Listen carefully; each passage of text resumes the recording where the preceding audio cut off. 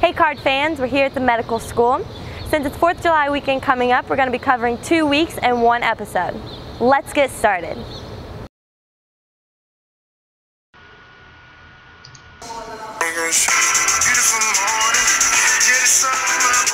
This week, our baseball and men's tennis team will be hosting their annual camps. Next week, beginning on July 4th, our field hockey and women's volleyball will be hosting their annual camps. For additional camps and more information, visit www.gocards.com. The Waterfront Wednesday concert series is back. It'll begin on June 29th and it'll be located in the lawn right behind me here on the walking bridge.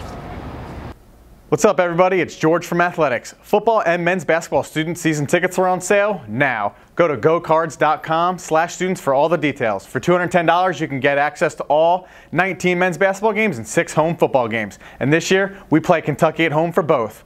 Let's go Cards!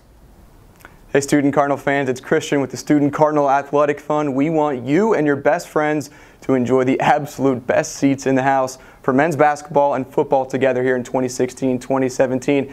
How you do it is just so easy to come find us at orientation this summer. We can sign you in to get those front row seats. The only way to do it here for this school year. Also visit us online studentcf.com where you can sign up there and share your favorite photos with hashtag IFlyWithTheCards.